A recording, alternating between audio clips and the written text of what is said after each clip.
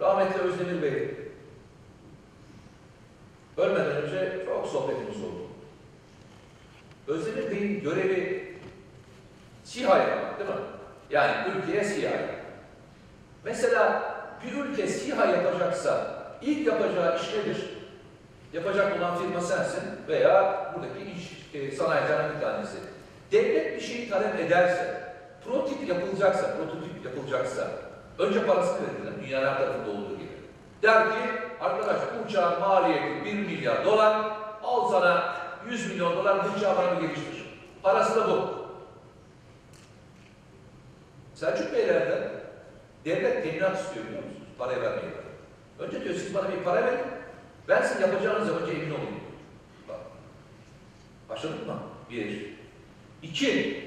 Bu söylediğim tarihler kiminler arkadaşlar? 1901 konuşmuyorum ben.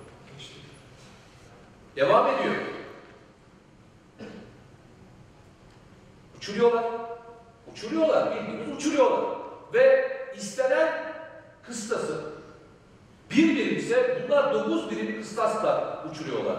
Yani ekstralarını koyuyorlar. Rapor şöyle çıkıyor. Öyle uçmadınız. Bakın öyle uçmadınız diye rapor çıkıyor. Kavga ediyorlar. Haluk Bey'i tutuklamaya çalışıyorlar. Bitiyor. Bir tane uçak yapıyorlar. Uçuracaklar. Uçacaksınız. Nerede uçuracaksınız? Karayolda mı uçuracaksınız? Koca siyahı. Nerede uçurmanız gerekiyor? Havalimanı değil mi? Havalimanını onlara tahsil etmek için uçmayan alanlar var.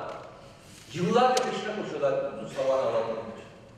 Ve bu arada Türk Silahlı Kuvvetleri acil neye ihtiyaç var arkadaşlar? SİHA'ya ihtiyaç var. Yani her gün kan dökülen bir yerde onu deneyecek havalimanı verilmiyor. Havalimanı veriliyor. Çabalıyor, mücadele ediyor. Havalimanında asfalt problemi var. Diyorlar ki siz diyorlar bu şeyle uçuramazsınız. Bu havalimanının asfaltı bozuk. Özdemir Bey asfalt döktürüyor biliyor musunuz bu? Bitmiyor. SİHA'yı yapıyorlar. Test atışı yapacaklar.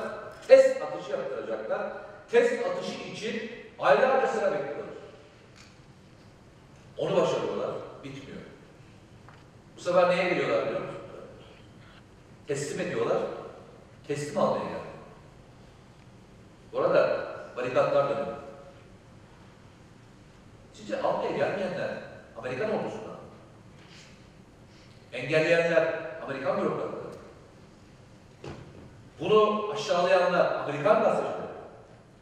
Bunu bir şekilde topluma farklı empoze edenler Amerikan siyasetçileri. Hani kavgamız emperyalizmle ama sonunda başarıyorlar. Bir tek şey farklı yapıyorlar. Gayret.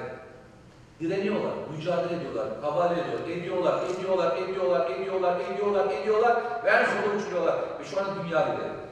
Zaten sorun burada. Bu ülkede hiçbir şey kolay değil arkadaşlar. Çok seveceksiniz bu ülkeyi. Ben gerçekten öyle diyorum. Çok seveceksiniz. Çok mücadele edeceksiniz. Gayretle mücadele edeceksiniz ki başarabilirsiniz. Kolay değil. Çünkü aynı kafa yapısı şu anda da devam ediyor. Top yapıldı.